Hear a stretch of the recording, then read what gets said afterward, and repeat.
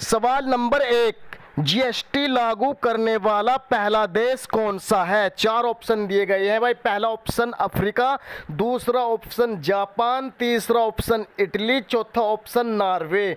तो भाई, सही और करेक्ट आंसर है इसका जापान। सही आंसर होगा भाई, जापान। जीएसटी लागू करने वाला पहला देश जापान है। दूसरा क्वेश्चन बहुत ही वेरी मोस्ट इम्पोर्टेंट है। संविधान में कुल कितनी भाषाएँ हैं? क्या दोस्तों, संविधान में कुल कितनी भाषाएँ हैं? चार ऑप्शन दिए गए हैं। पहला तीन, दूसरा सात, तीसरा अठारह, चौथा बाईस। तो सही और करेक्ट इसका आंसर होगा भाई दोस्तों, बाईस। संविधान में कुल बाईस भाषाएँ हैं। अगर आपसे क्वेश्चन पूछा जाए तो इसका आंसर बताना आपको बाईस। करेक्ट आंसर बताया मैंने आपको, नेक्स्ट क्वेश्चन की ओर चलते हैं। तीसरा क्वेश्चन है भाई, भारत का सबसे नया राज्य कौन सा है?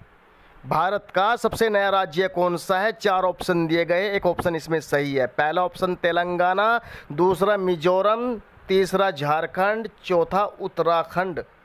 तो सही और करेक्ट इसका भाई दोस्तों आंसर होगा।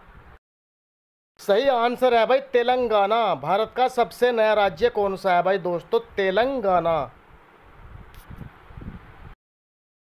नेक्स्ट क्वेश्चन है भाई, काला सेब कहाँ पाया जाता है?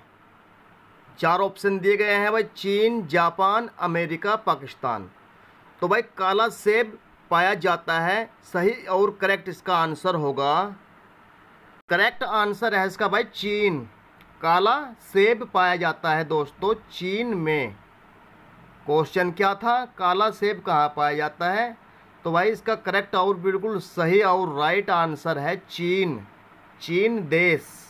तो भाई नेक्स्ट क्वेश्चन की ओर चलते हैं। नेक्स्ट क्वेश्चन है भाई चार मीनार कहाँ स्थित है? चार ऑप्शन दिए गए हैं। पहला लखनऊ, दूसरा दिल्ली, तीसरा कोलकाता, चौथा हैदराबाद। तो भाई सही और इसका करेक्ट आंसर है हैदराबाद। तो भाई चार मीनार स्थित है दोस्तों, हैदराबाद में सही और बहुत ही करेक्ट इसका आंसर हुआ। नेक्स्ट क्वेश्चन की ओर चलते हैं। काला गुलाब कहाँ पाया जाता है? चार ऑप्शन दिए गए हैं भाई, तुर्की में, चीन में, पाकिस्तान में, भारत में। तो भाई इसमें सही और करेक्ट आंसर होगा। तुर्की में पहला ऑप्शन सही है। काला गुलाब कहाँ पाया जाता है भाई दोस्तों? तुर्की में सही और करेक्ट आंसर मैंने आपको बताया। वीडियो हमारा कैसा लगा प्लीज़ कमेंट करना है।